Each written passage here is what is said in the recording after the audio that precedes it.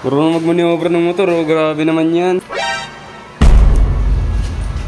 Galing ah. Sobra-sobra na yan. Galing-galing mo na. ah. Teka lang, may dami ka sa likod. Huwag ka mo na masyado gumalaw. May dami ka. Sa likod mo, malaki. Malaki yung dumi. Ayun na, tinatanggal ko nga. Tinatanggal. Ayun oh. Pre- Siyempre, preno mo. Huwag kang masyado gumalaw. Huwag kang masyado gumalaw. Baka matumba naman yung motor. Buksan mo na. Ha? Hindi, mamaya. Teka lang. May ano. May nintay pa ako. Saglit lang. Saglit nga lang. Saglit nga lang. Ba't nagmamadali? Kalma ka lang. Sige, start mo na. Painitin mo na. Mm. Ayos, di ba?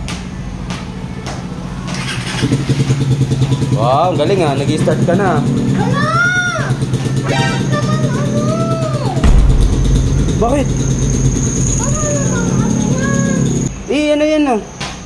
Haircut? Uy, gabi.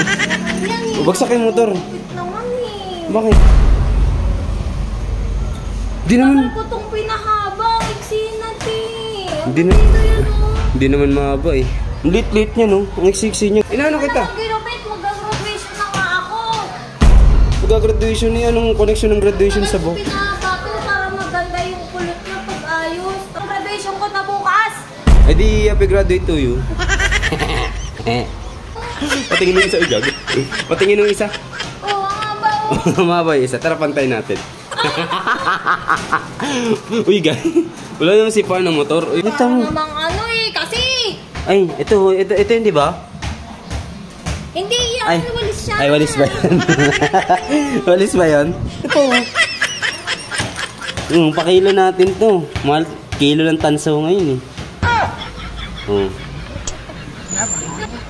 Nakakainis, hindi na pantay. Ha? Papantayin natin yan mamaya.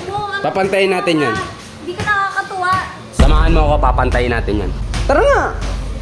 Papantayin nga natin yan. Tigil ako ah. Papantayin nga natin. Tara na. Mimimekif-mekif natin yan. Nahanapan natin yung magpapantay. Papatreatment natin yung buo. Gusto mo kalbo, i-treatment natin. eh. Ganun mo lang. Hmm? Tigilan mo na, tigilan mo na. kalbuin kita sa kotong. Gusto- Ikaw ang Sige na. nawakan. Papasalon ka na nga eh. Papasalon ka nga eh. Full treatment eh.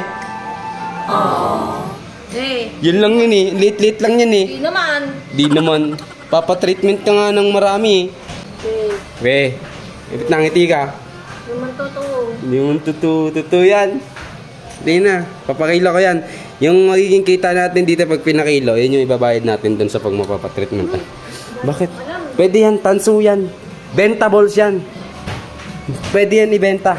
Tara ma. So yun nga mga master, nandito na kami kay Ichan Salon and Spa. At eto si Kimi na high blood na masaya. Hindi niya alam kung ano mararamdaman niya kasi hindi pantay yung buhok niya. Ayan, yung salon na to katabi yan ng Mang Boy Lugawan dito sa Misalawag. Grabe naman dito, may pa-aircon. Oh, go na. Ito tayo, semi-calbo, semi-calbo lang. Tapos, Kalbuin kita. sa... Ah, oo, yung gupit na ganon. Parang barber stream, ta barber stream tapos semi-calbo. Ha? Hindi, basta. Alam na ni ate yun.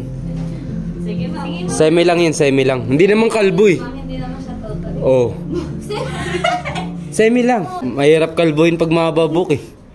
Tigilan mo yan. Pag ako tagkilan ko niya ate, tigilan mo. Mm. Maganda naman, hindi yung ano. Oh, mag- maganda ka naman eh.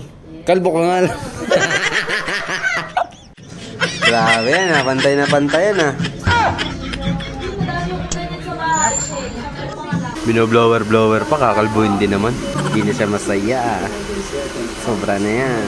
At ayan mga master, yung video na to ay hatid sa inyo ng ayan, Ichan Salon and Spa. Sobrang salamat sa pag-treat sa buhok ni Kimi. Kala niya kalbo na eh. Solid yan.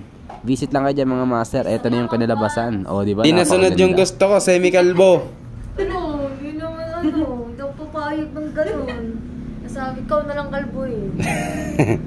Thank you ah. Sabay ba? Tapos may Thank you ate. man. Noon? Uy, grabe siya. Uy, sino ka Sulit.